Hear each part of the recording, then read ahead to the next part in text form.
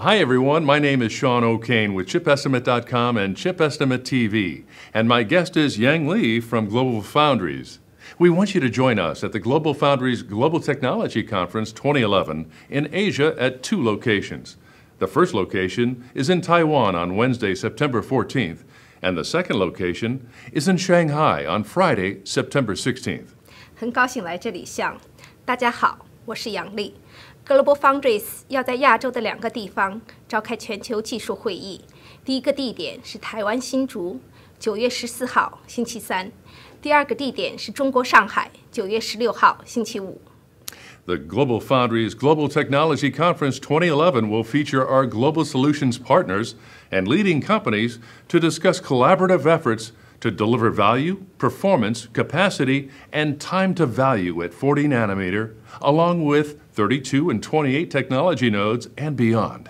两千一一年 Global Foundries 的全球技术会议将有我们 Global Foundries 的合作伙伴和尖端科技公司来讨论技术合作。以提供四十三十二、二十八纳米及更尖端工艺的半导体制造的价值、性能、容量和矢量值。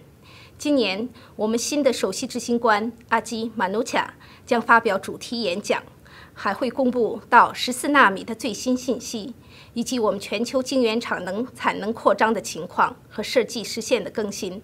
在下午，我们将有技术解决方案、设计支持、制造。和设计服务的分组研讨。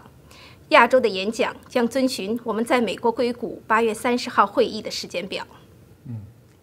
I want everyone to click right here to register for this event.